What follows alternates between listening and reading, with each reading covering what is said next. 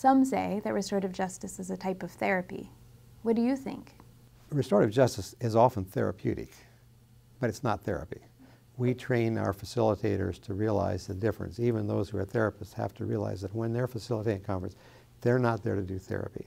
They're there to facilitate a conference. We make sure that people have therapy opportunities when they need it, but it's really important that it not be seen as therapy, but it often is therapeutic as people are transformed.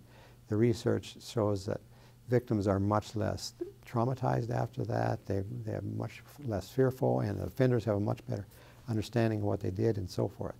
So it's not therapy, it often is therapeutic, but it is important to remember that it often, that the participants often have experienced trauma.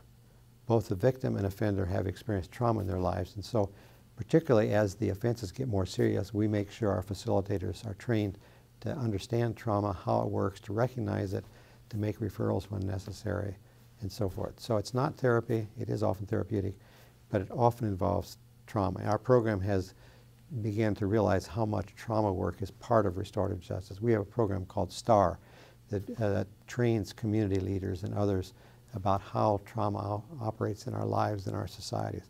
And we've come to realize that much offending behavior is, is a result of trauma as well. So the trauma dimension is really important, but the process is not therapy.